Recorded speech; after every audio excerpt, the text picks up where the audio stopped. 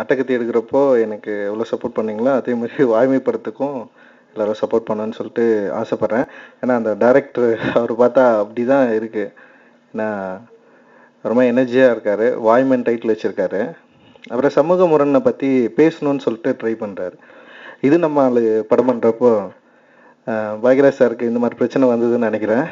இப்போ எனக்கும் அந்த மாதிரி பிரச்சனை வந்திருக்கு. இப்போ சமூக முரண் பற்றி எடுக்கிறவங்களுக்கு நிச்சயமாக விமர்சனமாக இருக்கும். எல்லாமே அதாவது எதிர்ப்பு இருக்கும் ஆதரவும் இருக்கும்.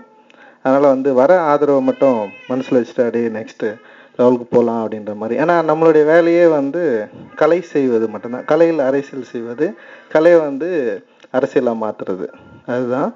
அது வந்து வாய்மை நிச்சயமாக பண்ணணும்னு சொல்லிட்டு நான் நம்புகிறேன் ஏன்னா அந்த டைட்டில் அவங்க இதுக்காக யோசிக்கிறது. ஏன்னா கிடைக்கிற பணத்தில் வேற ஏதோ ஒரு படம் பண்ணலாம்.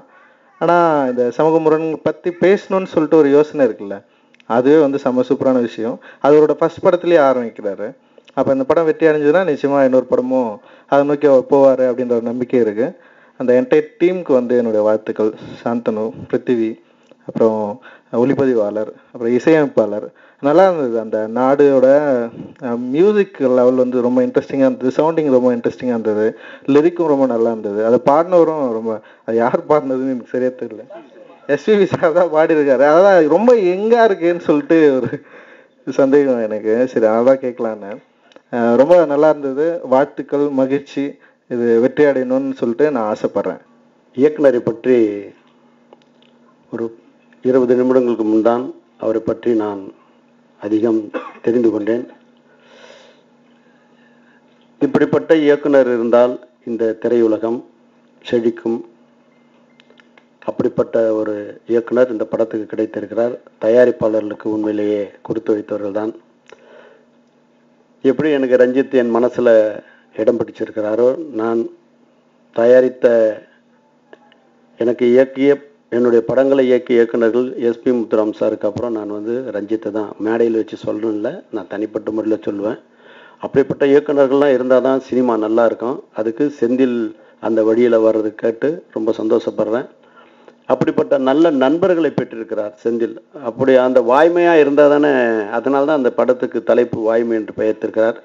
மனவலி உடல்வலி அத்தனையும் இந்த படத்தினுடைய திரையிடல் நன்று எல்லாம் நீங்கும். எங்களுடைய பங்களிப்பு இந்த படத்துக்கு இருக்கும். காரணம் இந்த படத்தில் பங்கு கொண்ட இரண்டு பேர் என் என் மனசில் ரெண்டு கண்ணா நினைக்கிறவன். ஒன்று வந்து எங்கள் வீட்டு புள்ள சாந்தனு அடுத்த கண்ணு இன்னொரு புள்ள ராஜா மதி. ரொம்ப பிரமாதமான எதிர்காலத்தை உடைய ரெண்டு பேருக்கும் நல்ல வாய்ப்பு வரலையேன்னு உள்ளுக்குள்ளே எனக்கு வந்து ஒரு ஒரு உந்துதல் இருக்குது அதுக்கு ஒரு உயரிய வடிவம் நான் தருவேன்றது இந்த தருணம் தெரிவிச்சுக்கிறேன். எதிர்காலத்தில் வாய்மை வந்து இந்த வருஷத்தினுடைய சிறந்த பாடல் சிறந்த இசை அப்படி இந்த தேசிய விருது பெறக்கூடிய அளவுக்கு அந்த பாடல் மிக சிறப்பாக இருக்கிறது. கண்டிப்பாக அதுக்கு முயற்சி அடைந்தால் கண்டிப்பாக அந்த ஈ- ரொம்ப ஈஸியாக எளிதில் கிட்டும். அந்த மாதிரி ஒரு அமைச்சிருக்காங்க. ஆகவே அது நீங்கள் முயற்சி எடுங்க. அது அது அது கிடைக்கும். அதுக்கப்புறம் இந்த படத்தை திரையிட வரும்போது இன்னும் பெரிய லெவலில் பேசப்படும். வாய்மை உண்மையில் மாபெரும் வெற்றி படமாக அமையும் என்பதில் எல்லளவும் சந்தேகமில்லை இந்த படத்தில் என்ன வேலை பார்த்தா என்னங்கிறத விட ரொம்ப பெரிய பேர் வாங்கிட்டு வர்றது நம்ம நிக்கில் தான். அது பாருங்க சிஎம்க்கு அப்புறம் இன்னைக்கு இவருக்கு தான் நான் பார்க்குறேன். உங்களால் நான் உங்களுக்காக நான் அப்படின்னு சொல்லிட்டு அவங்களே கொஞ்சம் யோசிச்சு யோசிச்சு தான் போடுவாங்க. நிக்கில் அதெல்லாம் எந்த யோசனையும் இல்லை. கேட்டால் நான் பத்து வருஷமா இருக்கேன் ஜெயலலிதா அவங்க இப்போ தான் அஞ்சு வருஷத்துக்கு முன்னால் வந்த மாதிரியே.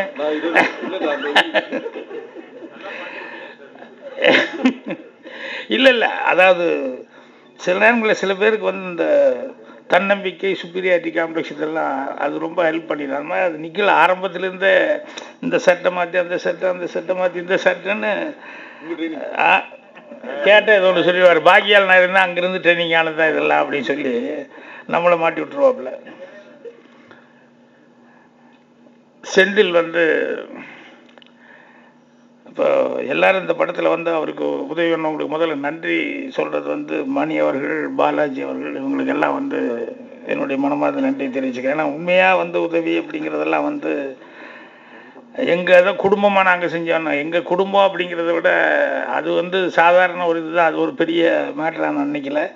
மற்றபடி படத்தினுடைய வளர்ச்சிக்கு வந்து உண்மையிலேயே பெரிய உதவி பண்ணவங்க வந்து அவர் அவங்கள மாதிரி ஆட்களும் நல்ல நண்பர்களும் தான். மற்றபடி செ செந்தில் என்ன பண்ணிட்டுருக்காருன்னு இது வரைக்கும் எனக்கு தெரியல. ஒன்று மட்டும் நல்லா தெரியுது. நடிக்க வந்த வெங்கட் பிஆர்ஓ மாதிரி ஆகிட்டார் எல்லா இடத்துலையும் அவர் தான் எல்லா அரேஞ்ச்மெண்ட் எல்லாம் பண்ணிட்டுருப்பாரு. அதே மாதிரி வந்து ராசாமதி கேமரா மேலே வேலைக்கு வந்தார். எல்லா வேலையும் ஆஃபீஸ் வேலையிலேருந்து எல்லாமே பண்ணிகிட்டு இருப்பார் அதே மாதிரிப்பா மியூசிக் டைரக்டர் மியூசிக் போட வந்தவர் எல்லா இடத்துலையும் உட்காந்துருப்பார் அவர். நம்ம இவரு கூட. செதில் கூட அந்த மாதிரி நானும் ஏறக்குறைய அப்படி தான் அவர் எப்போ கூப்பிட்றாரோ அப்பெல்லாம் சரிங்க அப்படின்னு சொல்லிட்டேன்னா கேள்வியே கிடையாது. இப்போ நீங்கள் இருக்கீங்களா இல்லையா என்ன ஏது நீங்கள் எந்த ஊரில் இருக்கிறீங்க ஒன்றும் இல்லை. ஃபிக்ஸ் பண்ணிட்டேன். ஆமாம் எப்படியா சொல்லி சாரை எப்படியாது அட பாப்டா இருக்கிறாது அதெல்லாம் விட இது ரொம்ப முக்கியங்கிற மாதிரி எதுவுமே முக்கியம் இல்லை. இதுதான் முக்கியம்னு. இப்போ அவங்கள வந்து டைமை மாற்றி இப்படி மாற்றி அப்படி மாற்றி இல்லைன்னா இவர் வந்து அவங்கள வர சொல்லிட்டு இவங்கள வர சொல்லிட்டாங்க போது இப்போ நமக்கு என்ன பாக்யராஜே வரல அப்படின்னா அவருக்கே அவ்வளோதானே இன்ட்ரெஸ்ட் அப்படின்னு சொல்லி மற்றவங்க நினச்சிருவாங்களேன்னு ஒரு பேஜாராகி விழுந்தடிச்சு ஓடி வந்தேன் நான். அந்த அளவுக்கு செந்தில் வந்து இது பண்ணிக்குவார். எல்லாரும் என் வைஃப் சொல்லிட்டு இருந்தாப்புல கதை வந்து கடைசி வரைக்கும் சொல்லவே இல்லை அப்படின்னு. எனக்கு இன்னும் ஒரு ஃப்ரேம் கூட நான் ஒரே ஒரு நாள் ஒரு தடவை கதை சொன்னார். அப்புறம் ஒரே ஒரு நாள் நடிக்க சொன்னார். அப்புறம் ஒரு ரெண்டு நாள் அந்த ஒரு நாள் நடிச்சதுக்கு மூணு நாள் டப்பிங் பேச வச்சார். அதுக்கப்புறமா வந்து வேற ஏதாவது ஒரு ஃப்ரேமாவது காமிப்பாருன்னு பார்த்துட்ருக்குறேன் இது வரைக்கும் நான் ஒரு ஃப்ரேம் கூட பார்க்க முடியல. சரி கேட்டுட்டு அப்புறம் விட்டுட்டேன். அவராக எப்போ காமிக்கிறாரோ காமிக்கிட்டோம் அப்படிங்கிற மாதிரி. எதுக்குன்னா அது வந்து குற்றச்சாட்டுக்காக சொல்ல. என்னவோ ஒன்று அவர் வந்து சம்திங் அவர் மனசுக்குள்ளே ஒன்று நினச்சி அதை அவர் முயற்சி பண்ணிக்கிட்டே இருக்காரு.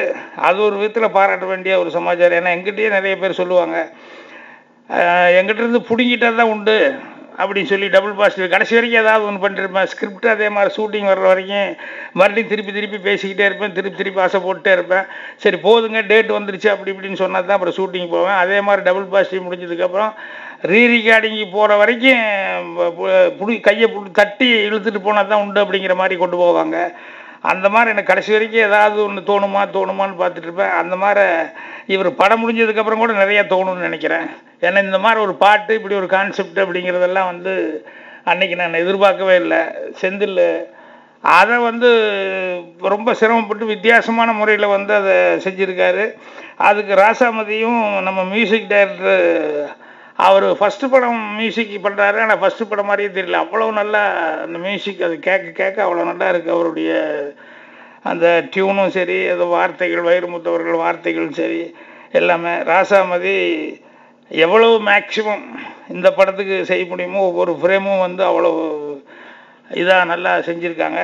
அதனால் இவ்வளோ பேர்த்தினுடைய உழைப்பு அதனால் செந்தில் வந்து அது முதல் படத்துக்கே வந்து எவ்வளவு கஷ்டப்படணுமோ அவ்வளோ கஷ்டம். சின்சியராக பட்டிருக்காரு.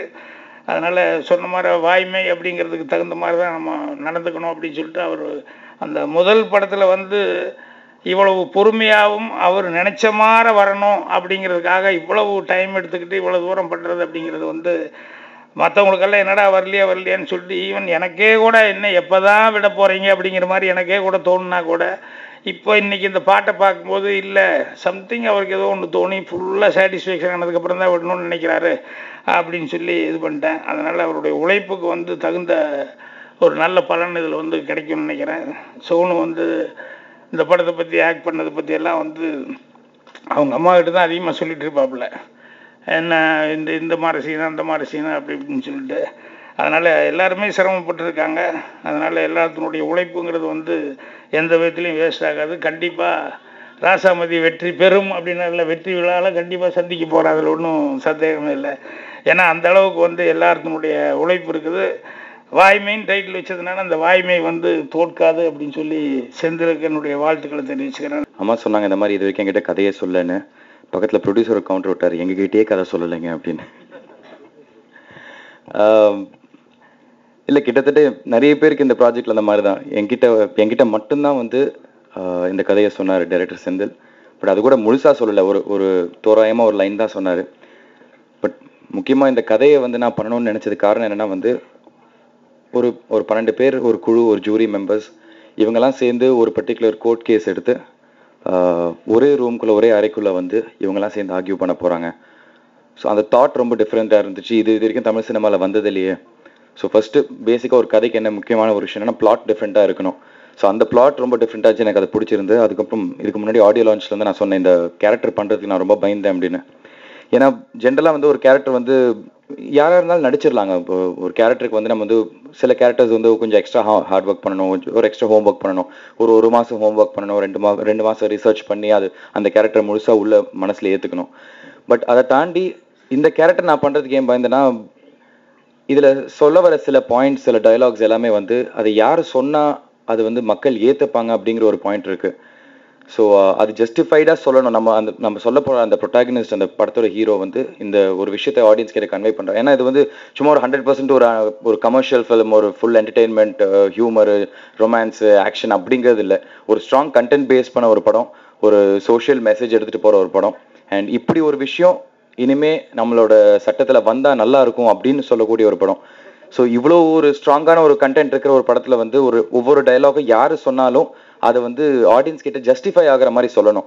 ஸோ அந்த ரீசன் தான் நான் பயந்த இந்த கேரக்டர் முதல்ல எடுத்து பண்ணுறதுக்கு அப்புறம் ரொம்ப செந்தில் சார் என்னை கன்வின்ஸ் பண்ணி இல்லை நீங்கள் உங்களோட என் உங்கள் மேலே எனக்கு நம்பிக்கை இருக்குது கவுண்டமணி சார் சொல்லுவார் என்ன லாஜிக்கில் என்னோட என்ன நம்புறீங்கன்னு? அதே டைலாக் தான் நான் செந்தில் சார் கிட்ட கேட்டேன். பட் என் மேலே நம்பிக்கையை வச்சு இந்த கேரக்டர் என்ன பண்ண வச்சதுக்கு ரொம்ப ரொம்ப நன்றி சார் அதை தாண்டி ஐ மீன் புதுசாக இந்த படத்தை பற்றி சொல்கிறதுக்கு ஒன்றும் இல்லை. ஆல்ரெடி ஸ்போக்கன் அபவுட் திஸ் படம் நல்லா வந்திருக்கு. பட் அங்கே திருப்பி திருப்பி சொல்ல வேண்டிய ஒரே ஒரு பாயிண்ட் என்னென்னா நிறைய ஹார்ட் ஒர்க் இருக்குது இந்த படத்தில். நிறைய உழைப்பு இருக்குது நிறைய விஷயங்களுக்கு போராடி போராடி இந்த படத்தை கொஞ்சம் கொஞ்சமாக கொண்டு கொண்டு சேர்த்து கொண்டு வந்திருக்கோம். ஸோ முடிஞ்ச அளவுக்கு உங்களோட உங்களோட சப்போர்ட் எங்களுக்கு கொடுத்தீங்கன்னா இந்த படத்தை வந்து ஒரு தரமான படமாக ஆடியன்ஸ் கிட்ட கொண்டு போய் ரீச் பண்ணலாம். மற்றபடி இந்த ஃபங்க்ஷனை வந்து இவ்வளோ இவ்வளவு கிராண்டாக நடத்தினதுக்கு ரொம்ப ரொம்ப நன்றி.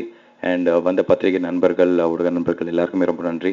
முக்கியமாக தானு சார் அண்ட் ரஞ்சித் பிரதர் ரெண்டு பேருக்கு ரொம்ப ரொம்ப தேங்க்ஸ் நான் கேட்ட உடனே வந்து இந்த ஃபங்க்ஷனுக்கு வரேன்னு ஒத்துக்கிட்டாங்க. தானு சாருக்கு நான் ரெண்டு விதத்தில் நன்றி சொல்ல வேண்டியிருக்கேன் அவர் இங்கே இருந்திருந்தா நான் இங்கே இருக்கும்போது நான் சொல்லி நல்லா இருந்திருக்கும். முதல்ல இந்த ஃபங்க்ஷனுக்கு வந்தது அவரோட எனி டைம் வந்து நான் என்ன ஒரு விஷயத்துக்கு போனாலும் அவர் சப்போர்ட் கொடுப்பாரு. பட் அதை தாண்டி நான் அடுத்து பண்ணிட்டு இருக்கிற ஒரு படம் முப்பரிமாணம். அது வந்து நான் போய் கேட்ட உடனே வந்து கபாலியில் அட்டாச் பண்ணுற சொல்லி கேட்டேன் நான் டீசரை இம்மீடியட்டாக அக்செப்ட் பண்ணிக்கிட்டு இன்னைக்கு ஆல் ஓவர் எங்கெல்லாம் கபாலி வந்து உலகத்தில் எங்கெல்லாம் ஓடுதோ அந்த எல்லா இடத்துலையும் வந்து என்னோட டீசர் வந்துட்டுருக்கு ஸோ அந்த சப்போர்ட்டை நான் என்றைக்குமே மறக்கவே மாட்டேன். ஏன்னா எங்களை மாதிரி வந்து ஒரு சின்ன படங்களை எடுத்துகிட்டு போய் மக்கள்கிட்ட போய் ரீச் ஆகணும்னா அது ஒரு பெரிய சப்போர்ட் வேணும் ஒன்று வேணும்.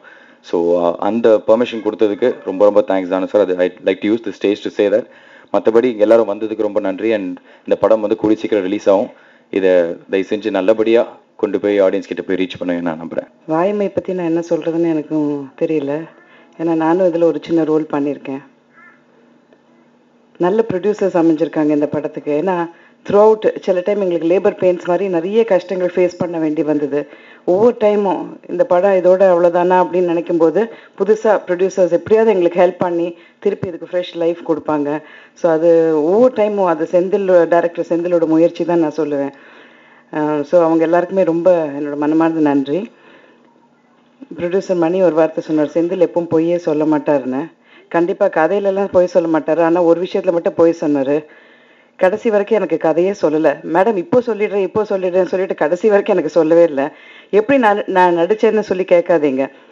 சொல்லுவார் என்னை நம்பி இந்த டயலாக் வந்து இந்த ஒரு ஃபீல்டில் சொல்லிடுங்க மேடம் அப்படிம்பாரு. நான் சொல்லி சார் நான் எவ்வளோ படம் நடிச்சிருக்கேன் எழுபது படத்துக்கு மேலே நடிச்சிருக்கேன் நூறு படம் நடிச்சிருக்கேன். கதையை சொல்லாமல் நான் எப்படி நடிக்கிறது அப்படின்னா தயவு செஞ்சு என்னை நம்பி இது பண்ணுங்கன்னு. நான் சொல்லி சார் நீங்களே ஃபர்ஸ்ட் டைம் டைரக்டர் சார் உங்களை நம்பிட்டு நான் எப்படி நான் சொல்கிறது ஒரு கதையாவது சொல்லுங்க எனக்குன்னா இதோ இப்போ சொல்லிட்டு இந்த ஷெட்யூல் முடியட்டும் இந்த ஷூட்டிங் நாள் முடியட்டும் அப்படிம்பாரு. கடைசி வரைக்கும் சொல்லவே இல்லை. ஸோ அந்த விஷயத்தில் மட்டும் ஒரு சின்ன பொய் சொல்லிட்டாரு என்கிட்ட. பட் மற்றபடி அவர் ரொம்ப gem of a person and ரொம்ப சின்சியர் அண்ட் ஹார்ட் ஒர்க் ஏன்னா படத்தில் வந்து எவ்வளோ டென்ஷன் உங்கள் எல்லாருக்குமே தெரியும். ஒரு ப்ரொடியூசர் அண்ட் டேரக்டராக இருக்கும்போது எவ்வளோ டென்ஷன் நமக்கு டே இன் அண்ட் டே அவுட் இருக்கும். எப்பவுமே மூஞ்சியை சுழிக்க மாட்டார். எவ்வளோ கஷ்டம் வந்தாலும் நம்ம ஆர்டிஸ்ட்டை மட்டும் அதை காமிச்சிக்கவே மாட்டார். சிரிச்சுட்டே வந்து வேலை வாங்கிடுவார். அதுக்கப்புறம் அவர் என்ன பாடுபடுறாரோ எனக்கு தெரியல. ஆனால் கண்டிப்பாக வந்து ஆர்டிஸ்ட்டை பொறுத்த வரைக்கும் is one of the best directors so அவர்கிட்ட நான் இந்த படத்தில் நடித்தது ரொம்ப ரொம்ப சந்தோஷமாக இருக்குது அண்ட் எல்லாமே இந்த டீமில் ரொம்ப நல்லபடியாக அமைஞ்சிருக்கு. நல்ல ஆர்டிஸ்ட் அமைஞ்சிருக்காங்க. மியூசிக் நிஜமாவே மியூசிக் டைரக்டர் அவுகத்தோட ஃபஸ்ட்டு படம் நான் சொல்ல மாட்டேன். ஏன்னா அந்த அளவுக்கு மற்ற பாட்டெலாம் நீங்கள் கேட்கும்போது கண்ணில் அப்படியே தண்ணி வரும். அந்த அளவுக்கு ஃபீலோட சாங்ஸ் எல்லாம் இருக்குது இந்த படத்தில். ஸோ ஐ ரியலி விஷ் உங்கள் எல்லாரோட சப்போர்ட் வேணும் இந்த படத்துக்கு. அண்ட் நல்லபடியாக இதை எடுத்துகிட்டு வந்து தியேட்டர்ஸில் நல்லபடியாக இதை ரிலீஸ் பண்ண ஹெல்ப் பண்ணணும் எல்லாருமே. So I really wish this new team ஏன்னா அப்போ தான் நம்மக்கிட்ட இந்த மாதிரி நல்ல ப்ரொடியூசர்ஸ் மறுபடியும் வருவாங்க. அடுத்தடுத்த படம் பண்ணுறதுக்காக நல்ல ப்ரொடியூசர்ஸ் வருவாங்க. So I really wish this team all the best and director Senthil and this entire team I wish them good luck படத்தில் நடித்தவங்கன்னு இல்லை இந்த படத்தில் அவங்க பாட் ஏதோ கொஞ்சம் இருந்தால் கூட ரொம்ப சந்தோஷமான நாள் அவங்களுக்கு. நாங்கள்லாம் வெயிட் பண்ணுற நாள். படத்தோட ரிலீஸ் டேட்ஸ் வந்து இன்னி இந்த மாதம் ரிலீஸ் பண்ணுறேன்னு சொல்லி டேரக்டர் சொல்லியிருக்காரு. ஸோ ரொம்ப சந்தோஷமாக இருக்குது படமும் நிச்சயம் ஒரு தரமான படமாக வந்திருக்கு. படத்தை பாருங்கள் படத்தை என்கரேஜ் பண்ணுங்கள் ஸோ படத்தை பார்த்துட்டு உங்களுக்கு ஃபீட்பேக் சொல்லுங்கள் தேங்க்ஸ் இந்த இந்த இந்த தலைப்பு வந்து எனக்கு ரொம்ப பிடிச்சி வச்சேன். ஏன்னா வாய்மைங்கிறது வந்து தீமையில்லா சொல். இந்த உலகத்திலே நான் உயிர்வான் நினைக்கிறது வந்து மனிதநேயம் தான். ஒரு உயிரை கொல்லக்கூடாதுங்கிறது தான் இந்த கதையோட கான்செப்ட் இந்த தலைப்போட அர்த்தம். வாய்மைங்கிறது வந்து ஒரு வார்த்தை அது ஒரு செயல். நீங்கள் வாழ்ந்து காட்டுறது தான் முக்கியம் அப்படிங்கிறதுக்காக தான் இந்த தலைப்பை வச்சேன். ஒரு ஜூரி சிஸ்டம் ஒரு குழு ஒரு எந்த விஷயத்தையும் நம்ம பேசினா தீரும். பேசுறது வந்து எனக்கு ரொம்ப பிடிச்ச விஷயம். அதனால இன்னைக்கு நான் பேசல. அதனால பேசினாதான் ஒரு நாடு சண்டை போட்டுச்சுன்னா நீங்க பேசினாதான் தீரும். ஒரு குடும்பம் சண்டை போட்டுச்சுன்னா பேசினாதான் தீரும். நீங்க பேசுங்க மனசுல இருக்கிறதுலாம் பிரியும். அதுதான் இந்த படம். பேசுற சமமா ஒரு படம் எடுக்க நினைச்சேன். அதை விஷுவலா எடுத்திருக்கோம். என் நண்பர்கள்லாம் எனக்கு வந்து அள்ளி கொடுத்தாங்க. நான் வந்து சாதாரண ஒரு ஏழை பையன். எல்லா நண்பர்களும் உழைப்போ அன்போ பணமோ எனக்கு அம்புட்டும் கொடுத்தாங்க. அதனால தான் நான் நினைச்சதை விட பத்து மடங்கு பெருசா ஒரு படம் எடுத்திருக்கேன். எந்த டைரக்டருக்கும் இவ்வளோ பெரிய சுதந்திரமோ இவ்வளோ பெரிய உழைப்போ யாருக்கும் கிடைச்சிருக்காது. இந்த படத்துல எந்த விஷயம் நல்ல விஷயம் இருந்தாலும் என்னை சுத்தி இருந்தவங்களுக்கு தெரியும். ஏதாவது தவறு இருந்தால் அடுத்த படம் இன்னும் சிறப்பா செய்வேன்.